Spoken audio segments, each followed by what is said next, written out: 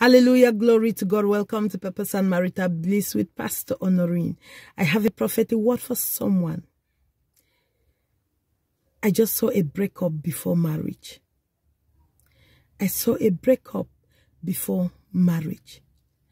And I was asking God why.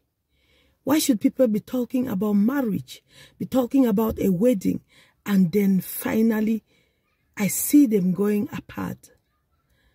And then God says, it is not a breakup, it is a break.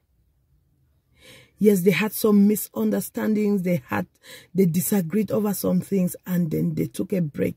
And to them, it seems like a breakup, but to God, it's a break. And God says he allowed it for a purpose.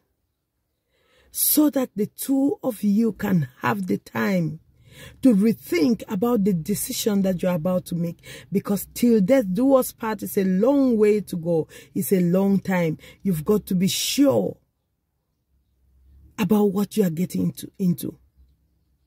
So this time is a time to step out of the zone of excitement, step out of the place where you just want to get married and have that reality check. Is this really what you want to do? Is this really who you want to spend the rest of your life with? Are you truly ready for this?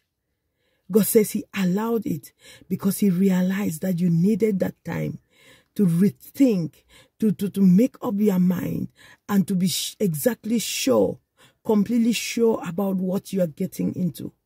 So this is not a breakup, it's just a break. And it is for your good.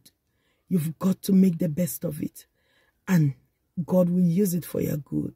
Hallelujah. God bless you. Shalom.